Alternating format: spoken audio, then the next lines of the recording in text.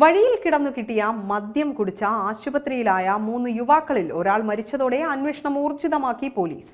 മദ്യം കഴിച്ച മൂന്ന് പേരിൽ അടിമാലി സ്വദേശി കുഞ്ഞുമോനാണ് മരണപ്പെട്ടത്.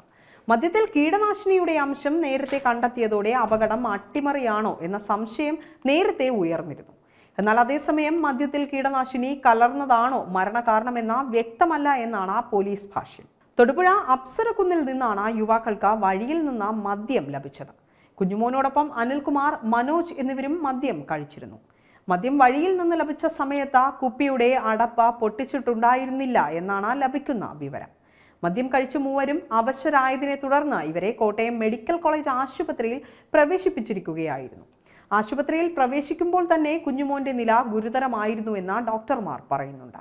രാവിലെ ഏഴരയോടെ മൂവരും കൂടി നടന്നു വരുന്ന വഴിയിൽ നിന്ന് മദ്യക്കുപ്പി ലഭിച്ചുവെന്നും അത് കുടിച്ചു എന്നുമാണ് യുവാക്കൾ അടിമാലി പോലീസിന് മൊഴി നൽകിയിരുന്നത്. മദ്യക്കുപ്പിയുടെ അടപ്പ് പൊട്ടിച്ചിട്ടുണ്ടായിരുന്നില്ല. ഇതാണ് യുവാക്കളെ ആ മദ്യം കുടിക്കാൻ പ്രേരിപ്പിച്ചതെന്നും യുവാക്കൾ പോലീസിനോട് പറഞ്ഞു. മദ്യം കഴിച്ച കുറച്ചു കഴിഞ്ഞതോടെ കുഞ്ഞുമോനും അനിൽകുമാറിനും ക്ഷീണം അനുഭവപ്പെടുകയുണ്ടായി. അടിമാലി താലൂക്ക് ആശുപത്രിയിലെത്തുകയും ഇവിടെ നിന്ന് കോട്ടയം മെഡിക്കൽ കോളേജിലേക്ക് മാറ്റുകയുമായിരുന്നു.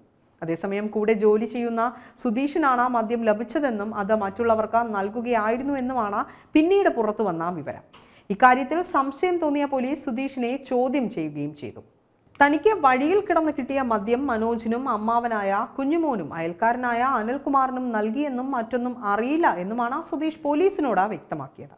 സംഭവത്തെ തുടർന്ന് ആ സുധീഷിനെ പോലീസ് വിശദമായി ചോദ്യം ചെയ്ത ശേഷം വിട്ടയച്ചിരുന്നു. അടിമാലി സ്വദേശിയും തടിപ്പണിക്കാരനുമായ സുധീഷ് ഇക്കാര്യത്തിൽ ഇപ്പോഴും സംശയത്തിന്റെ നിഴലിലാണ് എന്നാണ് ആ വിവരം. മാത്രമല്ല ഇന്ന് മരണമടഞ്ഞ കുഞ്ഞുമോൻ സുധീഷിന്റെ അമ്മാവനും കൂടിയാണ്. മദ്യം കഴിച്ചവരും സുധീഷും തമ്മിൽ വ്യക്തി വൈരാഗ്യങ്ങളോ ശത്രുതയോ ഇല്ല എന്നും പോലീസ് അന്വേഷണത്തിൽ വ്യക്തമായിരുന്നു. മദ്യത്തിനുള്ളിൽ സിറിഞ്ച് ഉപയോഗിച്ചാണ് കീടനാശിനിയെ ഉപയോഗിക്കുന്ന ഫ്യൂറിഡാൻ നിറച്ചതെന്നാണ് പോലീസ് കരുതുന്നത്. ബോട്ടിലിന് മുകളിലൂടെ സിറിഞ്ച് കടത്തിയായിരിക്കാം വിഷം മദ്യത്തിൽ കലർത്തിയതെന്നും പോലീസ് സംശയിക്കുന്നുണ്ട്. സംഭവത്തെക്കുറിച്ച് പോലീസ് അന്വേഷണം നടത്തിവരികയാണ് നിലവിൽ സുധീഷിനെ കേന്ദ്രീകരിച്ചാണ് അന്വേഷണം നടക്കുന്നത്. അതേസമയം സുധീഷ് പറഞ്ഞതുപോലെ സുധീഷിന് വഴിയിൽ നിന്നും മദ്യം ലഭിച്ചതാണോ എന്നുള്ള കാര്യത്തിലും കൂടുതൽ അന്വേഷണം ആവശ്യമാണെന്നാണ് പോലീസിന്റെ വാദം. യുവാക്കളെ അപായപ്പെടുത്താൻ മദ്യം മനഃപൂർവം ആരെങ്കിലും കൊണ്ടിട്ടതാണോ എന്ന കാര്യത്തിലും പോലീസ് അന്വേഷണം നടത്തുന്നുണ്ട്.